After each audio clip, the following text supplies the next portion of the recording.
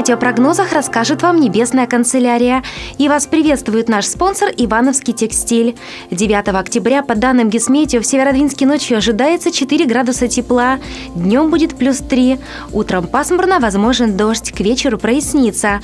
И ветер северный, северо-восточный слабый до 3 метров в секунду. Атмосферное давление в течение дня будет расти и к вечеру составит 764 миллиметра ртутного столба. По народному календарю 9 октября Иван Богослов, покровитель художников и иконописцев. На Руси в этот день судили о предстоящей погоде. Люди примечали, если листья опадают с деревьев нечисто, то нужно ждать морозов.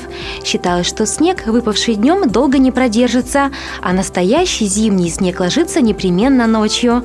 А согреет вас зимой наш спонсор Ивановский текстиль. 10 и 11 октября в НДЦ «Звездочка» состоится выставка продажа постельного белья. Солнечного настроения и до свидания!